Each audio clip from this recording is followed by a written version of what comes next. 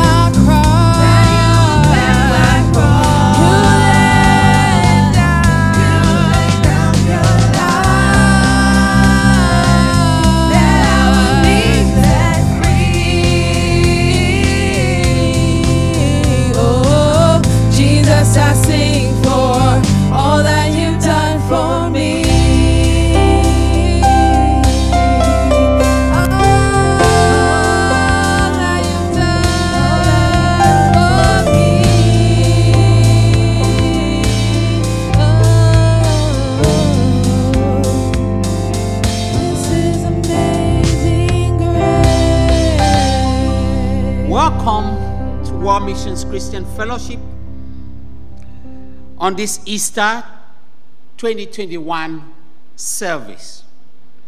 We want to welcome all our viewers from our church family right on Zoom and all those of you watching the service on social media and across the world.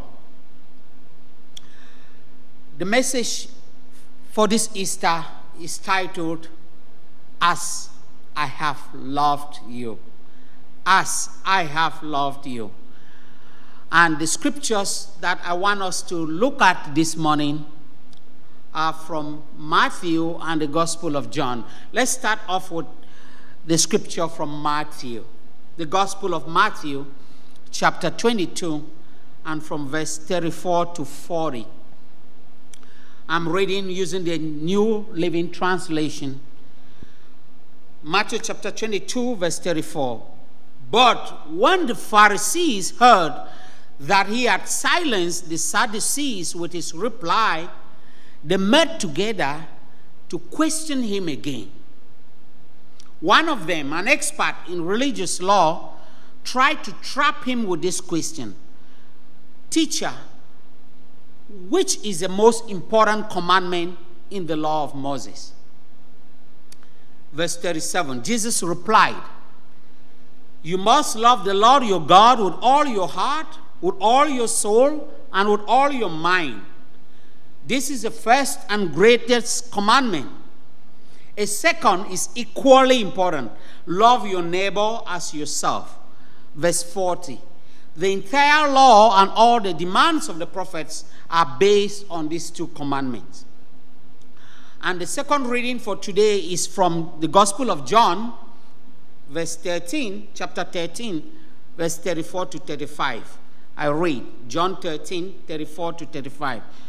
So now I'm giving you a new commandment love each other just as I've loved you.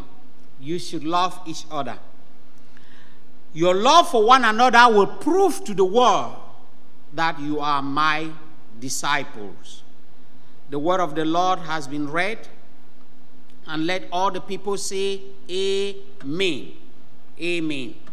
Let us pray. Father, in the name of the Lord Jesus Christ, thank you for your word that has come to bring wisdom, direction, and guidance to all who are hearing you this morning and from across the world. Lord, I pray as I stand before you on this altar on this Easter Sunday morning, I pray that your Holy Spirit, your wisdom will empower me to speak the words of truth, to speak life to your people, because your word is truth and there is life in your word. I pray that this word will come out with, forth without hindrance of any kind, and this word will bring healing, will bring transformation, will bring great transformation on this Easter Sunday in the lives of the hearers. In the mighty name of the Lord Jesus Christ. Holy Spirit, I submit myself, my vocal cords, to be used by you. Lord, have your way, Holy Spirit. In Jesus' mighty name we pray. And let the church say, Amen. Amen. Amen. So, welcome once more again to our Easter service, Easter 2021. And we are on Sunday morning, right? Easter Sunday. And Jesus Christ has resurrected from the death. And over this week, the week leading to Easter, we have been going through the thoughts of him uh, spending his last night with his disciples on the night which he's arrested, and later on, uh, the prosecution and the fake judgment that led to his uh, condemnation and crucifixion, death, burial, and he is alive today morning. Hallelujah.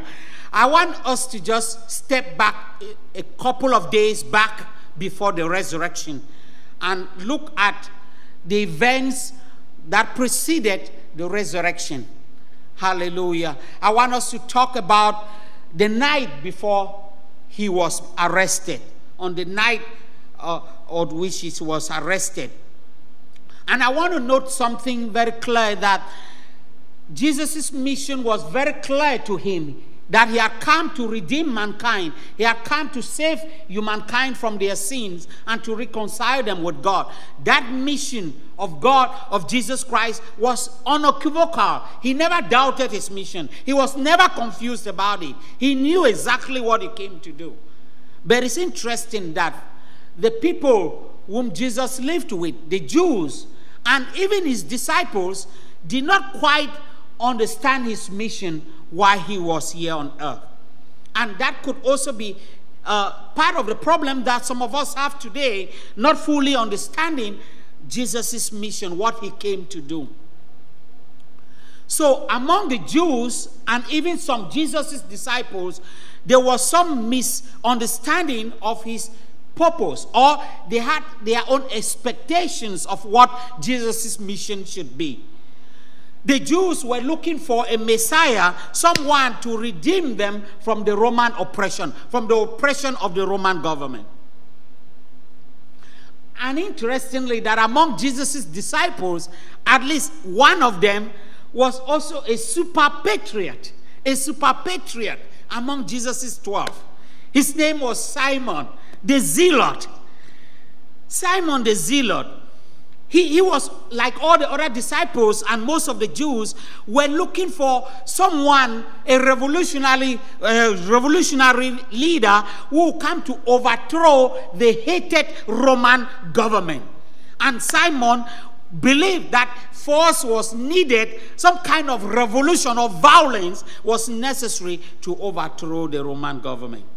And there's some people still in our church communities today who believe in the use of violence to achieve some uh, uh, political goals uh, that uh, they are seeking for. Among Jesus' disciples, there was one, Simon the Zealot. Hallelujah. So prior to Jesus' death and resurrection, which we celebrate today, Jesus' disciples frequently did not understand his mission. They confused his goal. Small wonder they were jockeying for positions of power in the soon to be revitalized kingdom of Israel. Some of them were wondering, were trying to lobby Jesus. Maybe, should I sit at your right hand? Would you make me sit at your right hand when you install that kingdom of yours that you're talking about? But on the night, on the eve of the night which he was arrested, Jesus broke out two breaking news. In our time, it would be called breaking news. Breaking news. Jesus unleashed two significant breaking news on the eve of the night which he was arrested and later on uh, uh, taken to judgment and so on and so forth to his death and the resurrection that we celebrate today. The first breaking news that Jesus announced to his disciples on the night before he was arrested is that he was leaving. Jesus announced his leaving. He made a statement in John 13, verse 33. He says, Dear children, I will be with you only a little longer. And as I have told the Jewish leaders, you will search for me, but you can't, you can't come where I am going. Pause for a moment with me, church, and consider the implications of Jesus leaving the scene. This is somebody they are looking up to as a revolutionary leader, and they believe the time has come for them to be liberated of the yoke of Roman oppression. And Jesus was to become the king of that kingdom to that the revolutionary kingdom. Now Jesus is announcing breaking news that he is leaving. What a disappointment. What a disappointment to the people sitting at the table with Jesus on that night in which he was going to be arrested. I want you to understand that if Jesus went missing, that meant smelled a lot of trouble for his disciples. Because of Jesus, his disciples felt some kind of comfort, some kind of protection.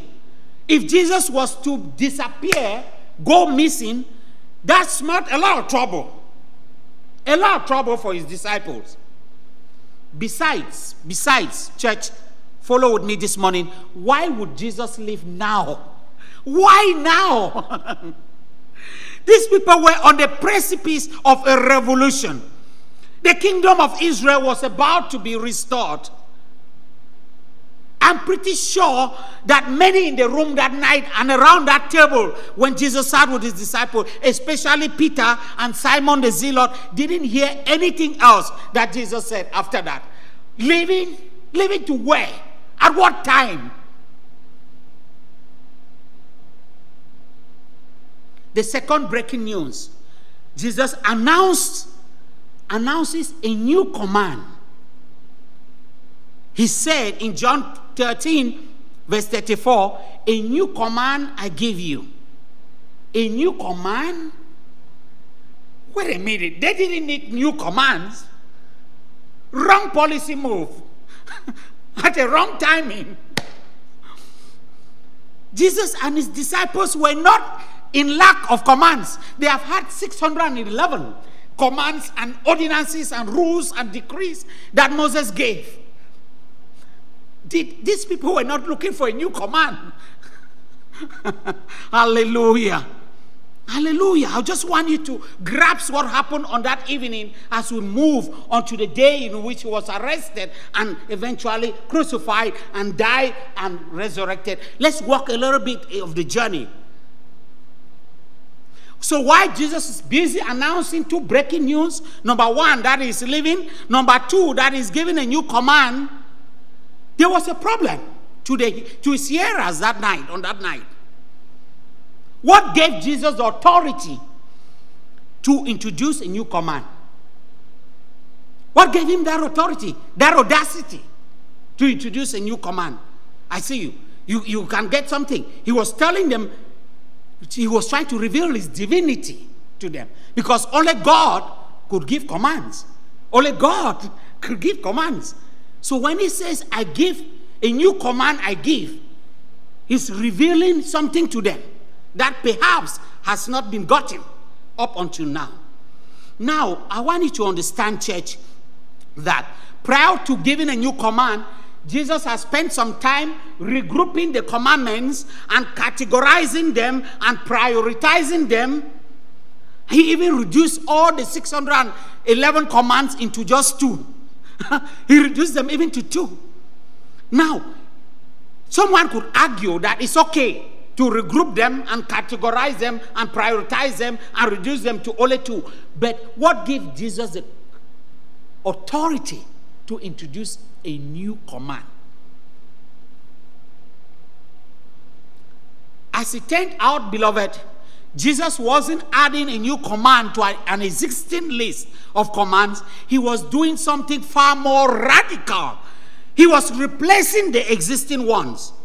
That's why he continued in that John chapter 13, verse 34. He continued. He said, A new command I give you love one another.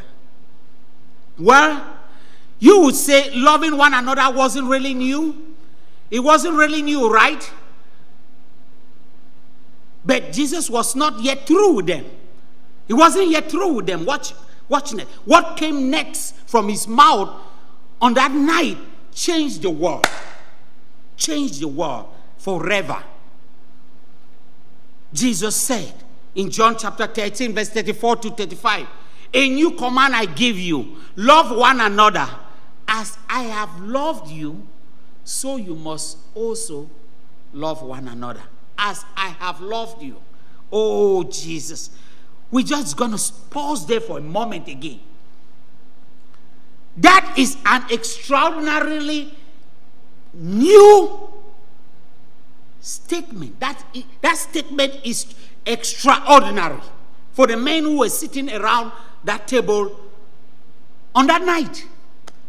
I know when you and I read that verse in John chapter 34, uh, 33 verse, verse 34 is 33 yeah 33 13 verse 34 a new command i give you love one another as i have loved you. So you must love love one another we just quickly see the cross right? We today we just quickly see how did he love us? He went to the cross right? We quick we, we quickly get that right? We get it but for the people who were sitting around that table on that night that's not what they heard when he said they should love one another as I have loved you, Jesus has not yet gone to the cross.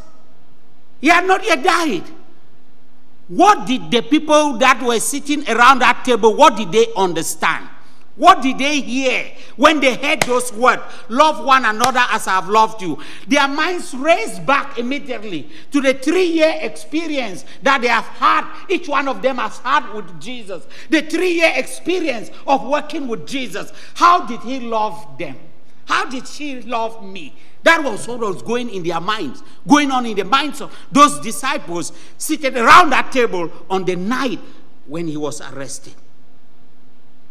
So each one of them around that table was transported back to a particular moment in time when Jesus has loved them particularly well. And let me try to mimic the conversation at the table on that night. You would love this. You would love this. Jesus could have looked around the table and looked at Matthew right in the face and say, Hey, Matthew, remember what you were up to the first time we met? Remember what you were up to? And Matthew would say, Yes, sir. Yes, sir. I was working for the Roman, Roman government.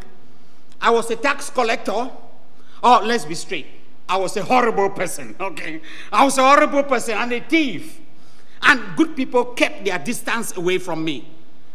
Ah, Jesus could reply, Hmm, great stuff.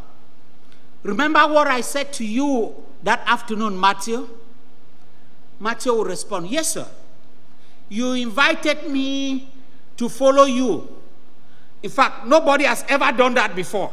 At least, nobody of a repute, with, with a sound reputation, has ever asked me to follow them or asked me for company. Exactly, exactly, Matthew. Jesus will say. That's the point. Now, extend that same grace to everyone you meet for the rest of your life, as I have loved you. As I have loved you. Extend that same grace to everyone else that you meet for the rest of your life. And Jesus could have been looking around that table after Matthew and spotted Nathaniel. Nathaniel right by the end of the table, right there. And he would have asked Nathaniel, Do you remember what you said to Philip when he first introduced me to you? Nathaniel would answer, Yes, yes, yes. I jokingly, I jokishly uh, mocked whether anything good could come out of Nazareth. Basically, I doubted not just your integrity, but also your divinity.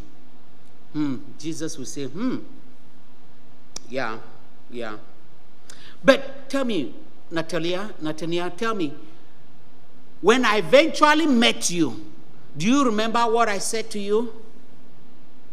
Nathaniel said, Very well, very well, Master. You lavish praises on me. Wait a minute. Here were your precise words, eh? Here were your precise words to me. This is what you said to me on that day when you met me. You say, Now here is a genuine son of Israel, a man of complete integrity. And Jesus will respond, Perfect, perfect, Nathaniel, as I have loved you and treated you with respect despite your condescending attitude. Love one another as I have loved you. More generally, Jesus would have looked around all that table that night. There was a long conversation at that table on that night. And the message would have been the same to all his disciples.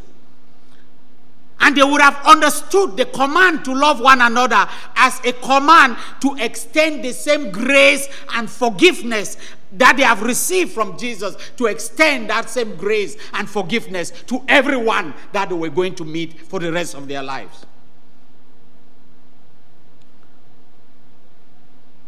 But why they were busy going through that three year experience recount and trying to second guess what it would mean to love as Jesus loved them. I think Jesus was musing within himself. He said, These ones, if they really knew what I meant by loving me as I love them, they will quit. I trust you, they will quit.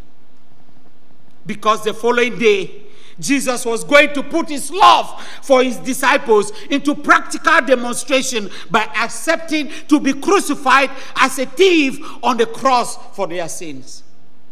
That's why the scripture says, Greater love has no man than this, that a one, a man to lay down his life for his friends. Hallelujah. Hallelujah. So Jesus continued in John 13, verse 35. He says, By this everyone will know that you are my disciples if you love one another. By this, everyone will know that you are my disciples if you have love for one another. I have a few questions for you. Who claim to be Jesus' disciples? I have a question for you this morning. The first question, based off of that scripture in John 13, verse 35, are folks supposed to know that you are a disciple of Jesus? That's a question. Are folks supposed to know that you are a disciple of Jesus? The answer is there in, in that scripture, John 13, verse 35. He says, Everyone will know that you are my disciples. Oh, oh. So it means people ought to know that you are a disciple of Jesus. This is a game changer for some of you who, either because of the culture which we are in right now, where they are told, we are being told that religious matters are issues in the heart. They should be only in your heart, hidden in your heart. Jesus says, Everyone will know that you are my disciples.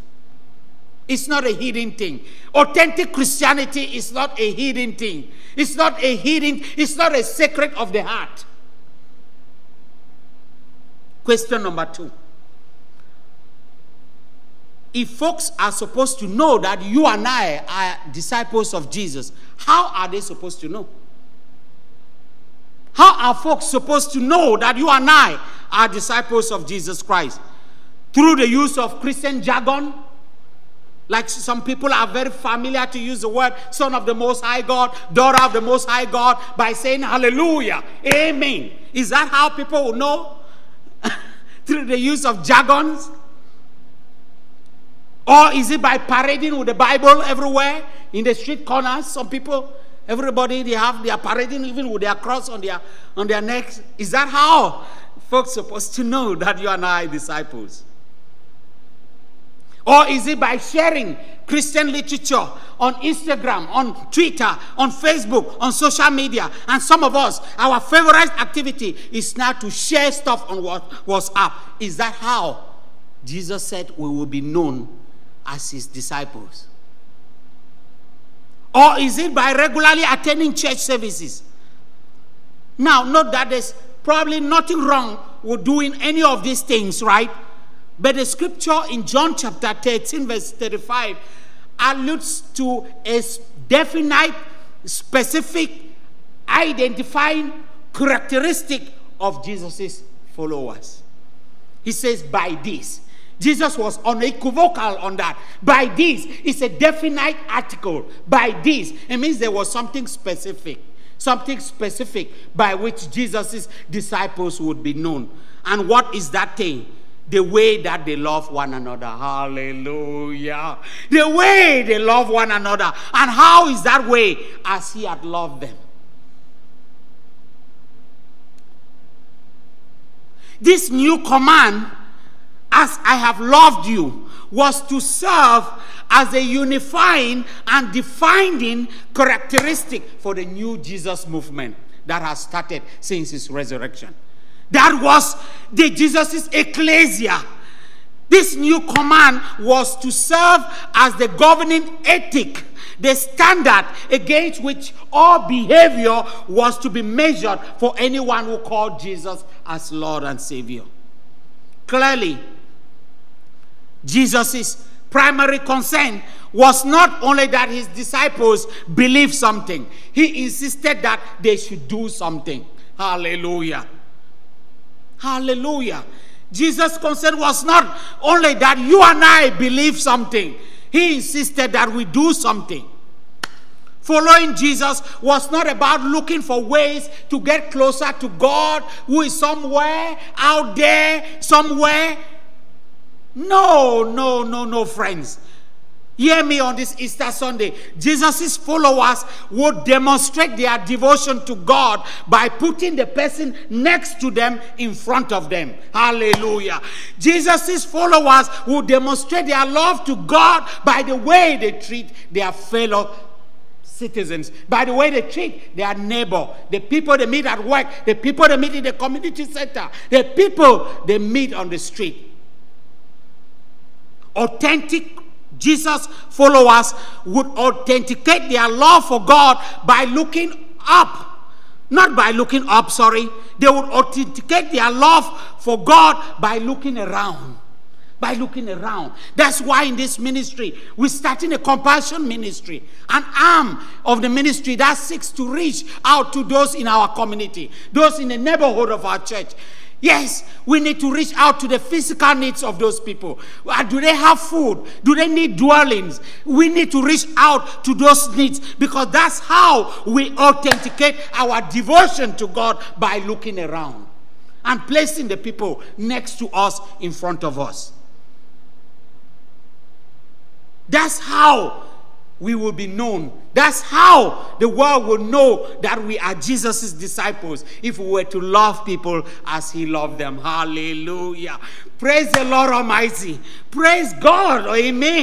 I want to invite you to experience the worship, a worship segment in our church right now, and I'll come back and continue the second part of my message this morning. But I want you to partake, participate in a vibrant worship segment being delivered right from here, from World Missions Christian Fellowship, by our vibrant worship team. So stay tuned to the and listen to the participate in the worship service, in the worship segment. It wouldn't be long, and I'll come right back to continue. Hey. Get ready to put on our dancing shoes dance to the Lord, our cornerstone. Yeah.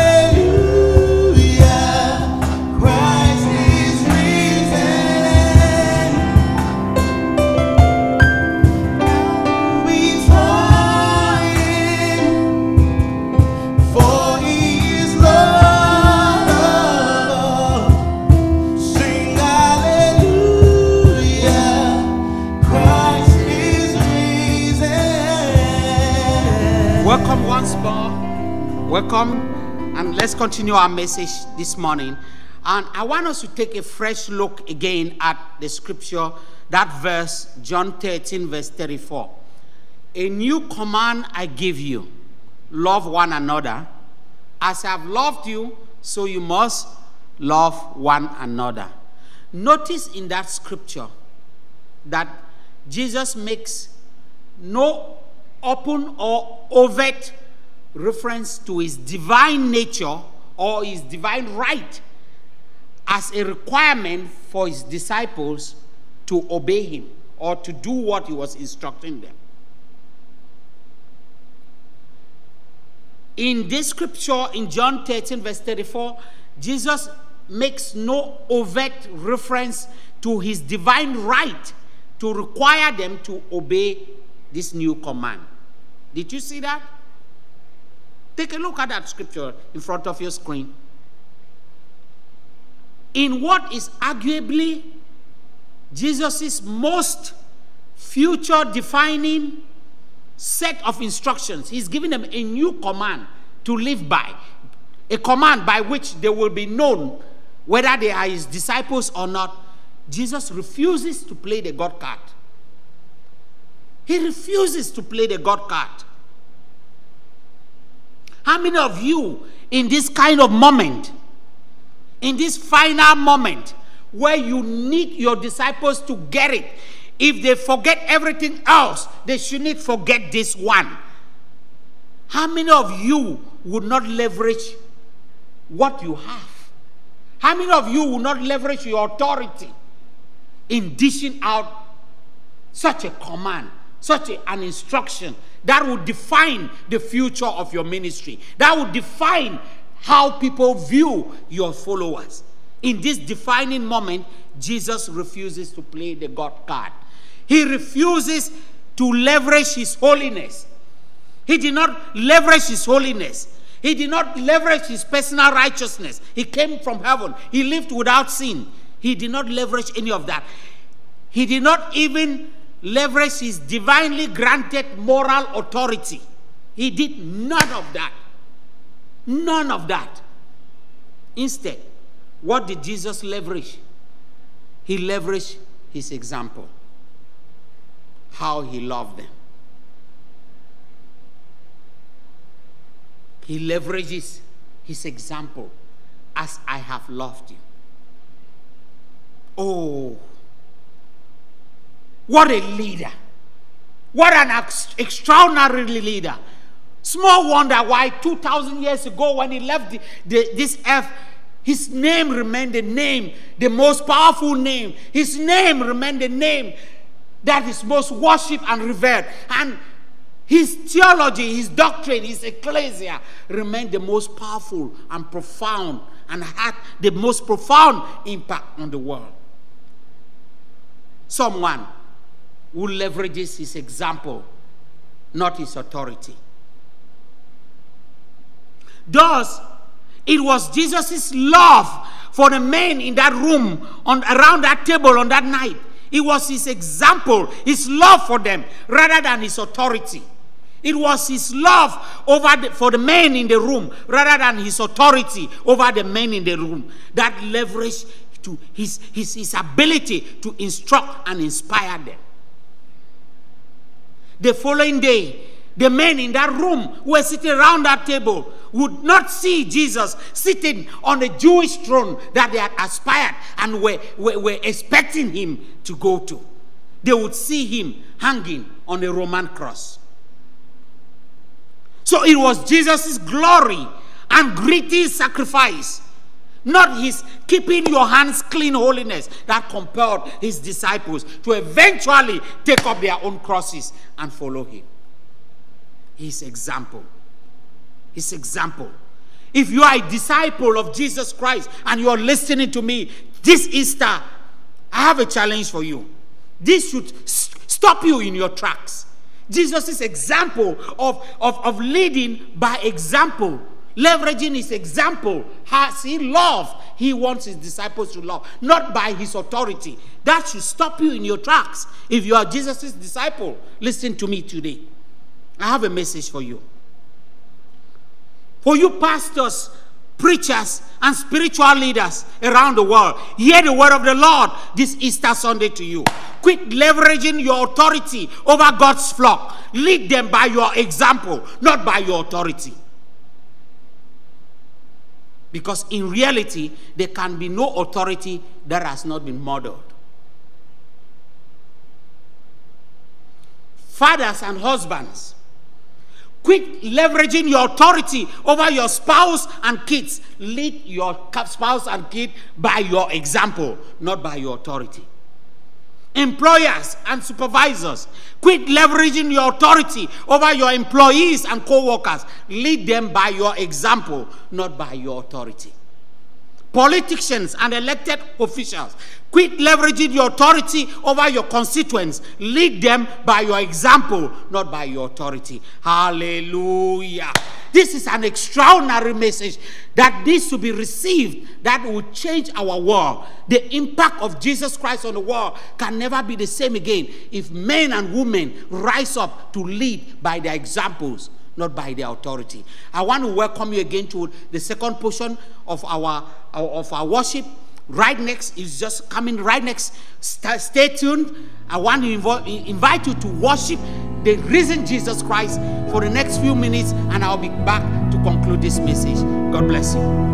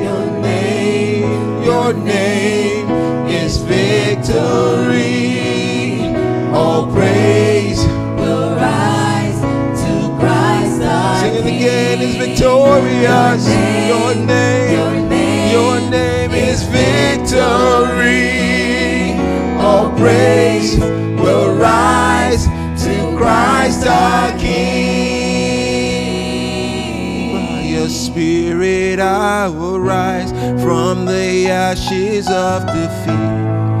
The resurrected King is resurrecting me. In your name we come alive to declare your victory. The resurrected King is resurrecting me. By your spirit I will rise the ashes of defeat. The resurrected King is resurrecting me. In your name I come alive to declare you are living. The resurrected King is resurrecting me. The resurrected King is resurrecting me. The resurrected King is resurrecting me. The resurrected King is resurrecting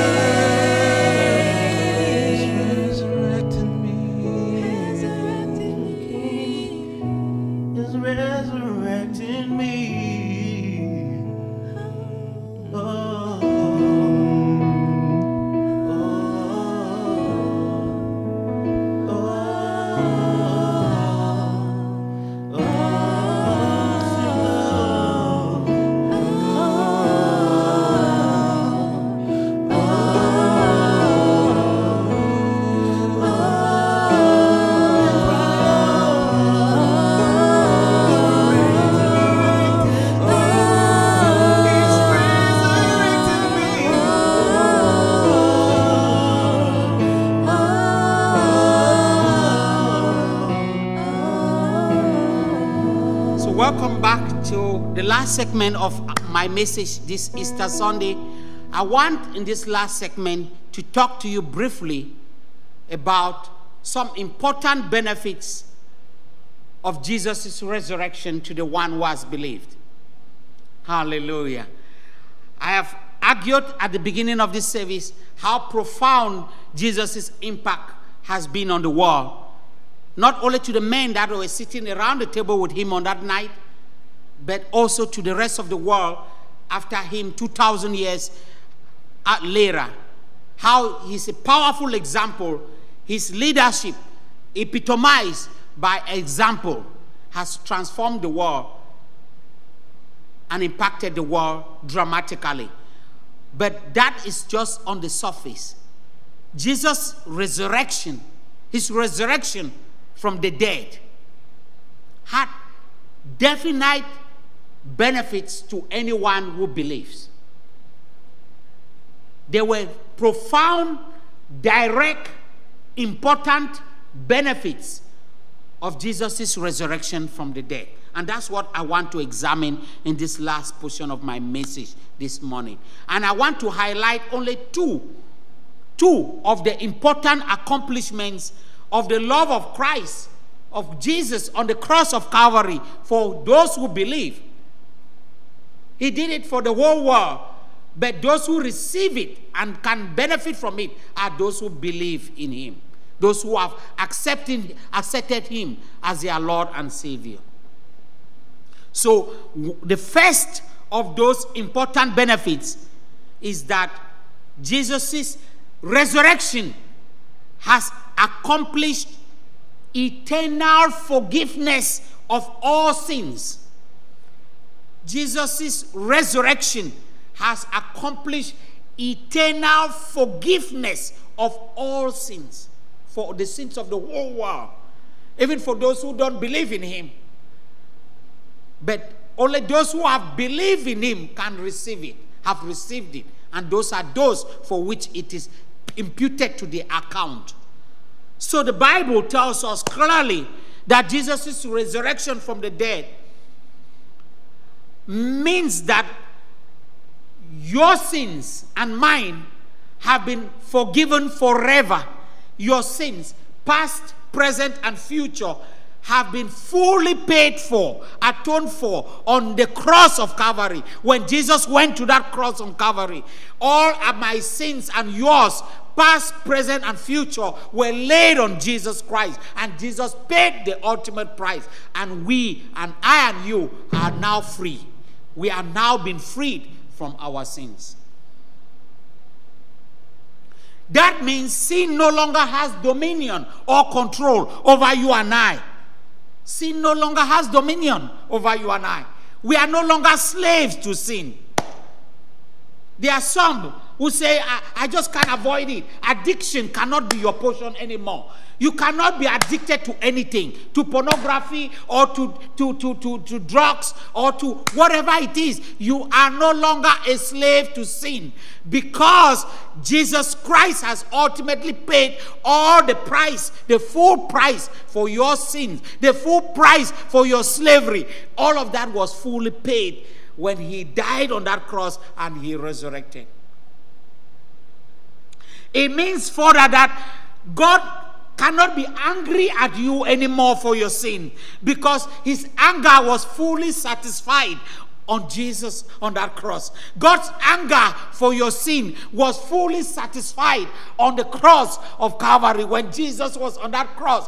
God's anger, his wrath for sin, your sin was put on Jesus. Therefore, God's anger is no longer on you. His anger has been fully satisfied on the cross of Calvary. And God does no longer impute any of your sins to your account because they have already been imputed on Jesus at that cross. This is the gospel of Jesus Christ. This is the gospel of salvation. This is the gospel of forgiveness. This is the gospel of redemption. This is the gospel of sanctification. That mankind should no longer pay for their sins because Jesus Christ has fully paid for them. And God is no longer mad at you listening to me. Even if you are in, embedded in your drug, in everything what you're doing, God is not mad at you. He, he breaks his heart that he has shown a path for you to come out of that darkness and you are refusing, you are being stubborn. That's what breaks God's heart. The fact that salvation has been made free is available to all in the world, but many are still going to hell. That's why we preach this message. We preach this message to awaken men and women so that they don't go to hell for nothing, whereas the debt has been paid, the price has been paid. Jesus' resurrection has made sin no longer a factor in the life of he who believes. Sin is no longer a factor. If you believe in the finished work of Jesus Christ on the cross of Calvary, you cannot be a slave to sin any longer. You are no longer under the law. You are now under grace, and God is no longer angry at you. God is not mad at you anymore. You are not God's enemy. You are His friend. You are a member of His family. God has called you, He has made you whole with Him. A righteous God is now calling you members of His family. Hallelujah. This is the gospel, the truth that the world needs to hear. And what a better place is than Easter to proclaim this message. The second thing I want to bring to you this Easter Sunday, the, uh, the other accomplishment of Jesus on that cross, the accomplishment of his resurrection. The second thing I want to highlight, there are many of them, but just two. I've highlighted that sin has been overcome, has been defeated. Your sins have been forgiven. You have been forgiven. But yet, listen, listen to this one. This one will blow your mind. This will blow your mind. By Jesus' resurrection from the dead, we have been eternally justified for our sins. Oh, Jesus Christ. What a word eternally justified, justified, justification, justified. Do you know what it means to be justified? Justified means you've been declared not guilty. Oh, it's one thing to tell me that I have been forgiven. It's another thing to tell me that I was not even guilty. You mean that when I committed that sin, I was not the one who committed it? When you raped that person, yeah, that act that you did, God looks at it, He sees Jesus as the one who did it, not you. That's what it means here. I don't know what sin you are locked in. I don't know what sin has trapped you. But whenever you are involved in that sin, if you have accepted Jesus as your Lord and Savior, take note that God doesn't see you in the act. He sees Jesus as, as the one who did it. And Jesus went to the cross and paid the penalty so that you can be free. You have been considered not guilty. Wow. Not guilty. And this justification is eternal. I want to read you that scripture in Daniel, Daniel chapter 9, verse 24. And I hope they will show it on the screen to you right now so that you can see from where I'm coming from with this. Daniel chapter 9, verse 24, he says, A period of 70 sets of seven has been decreed for your people and your holy city to finish their rebellion, to put an end to their sin, to atone for their guilt, to bring in everlasting righteousness. You see that? To bring in everlasting righteousness, to confirm the prophetic vision, and to anoint the most holy place. God has given you everlasting righteousness everlasting righteousness. Our righteousness is everlasting. He brought in everlasting righteousness. Jesus' resurrection from the cross, from the grave, brought in everlasting righteousness. That means you and I can never lose our righteousness. He brought in everlasting righteousness. I don't know what you are listening to. If you heard me clearly, you would have jumped from that seat. You would have jumped from that seat and made a round around your room, around that place. He brought in everlasting righteousness. That's a significant accomplishment. So I'm finishing off this message this morning.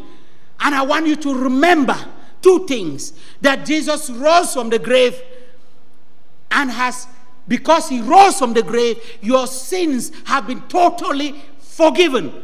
And not only forgiven, God has cleared your record because you could serve your term and your name is still on the record as convicted. But God, Jesus has cleared the records. You are not guilty.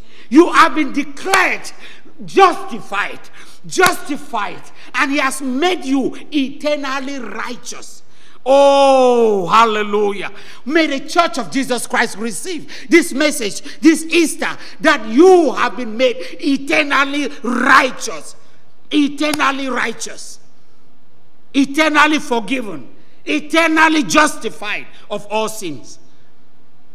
And I know as I'm even ending this message, some of you have a problem with it. You have a problem with receiving this because you are performance based. But remember, that your righteousness is not based on what you do. If so, you wouldn't be righteous. You and I will never be righteous if it were based on our performance. I would not be righteous. I cannot be righteous if it was based on performance. But it is based on what Jesus did on the cross of Calvary. Hallelujah. We are going into the communion segment.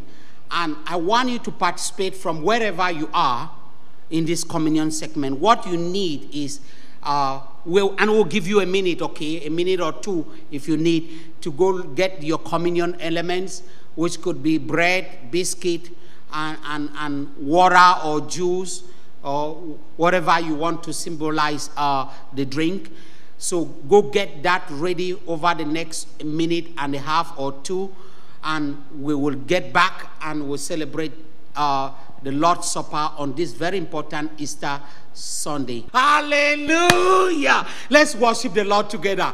Let's worship the Lord. Welcome my worship team right now to lead into another segment of worship as we celebrate the important benefits which Jesus' resurrection has given to us, believers in the world. Let's celebrate. Worship with us this morning as we celebrate these important victories. Hallelujah.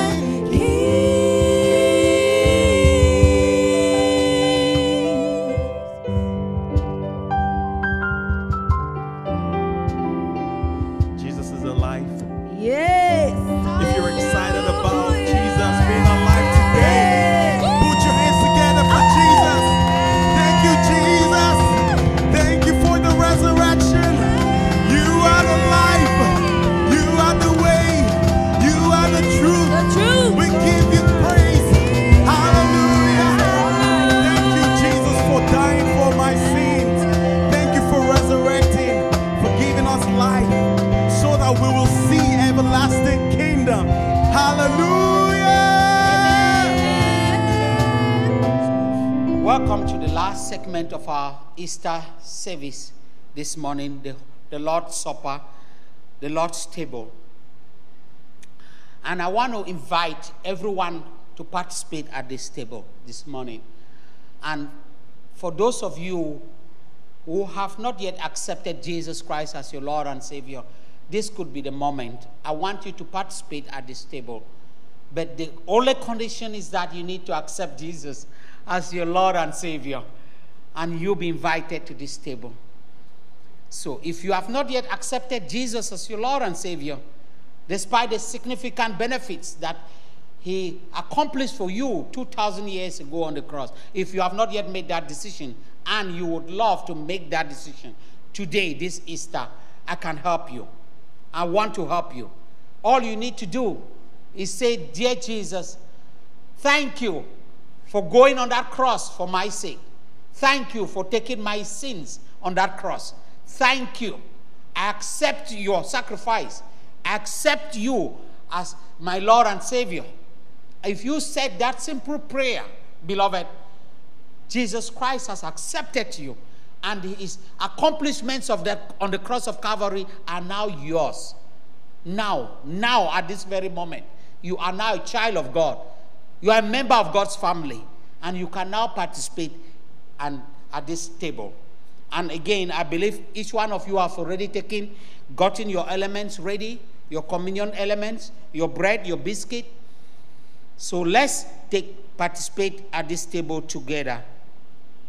Our Lord Jesus Christ, on the night which he was to be arrested and betrayed, took bread. And after he had given thanks, he broke the bread and he gave it to his disciples to eat. Say, This is my body, which is going to be broken for your sake. In retrospective, that has already happened 2,000 years ago. So break the bread and eat.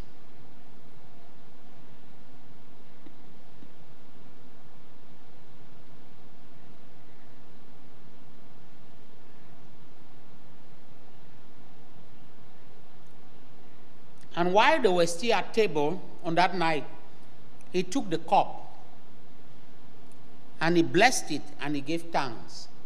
Then he gave it to his disciples, say, Take this and drink. This is my blood, the blood of the new covenant. And this is going to be the New Testament in my blood. Say, drink of it. So at, at this time, I invite you to drink of the cup.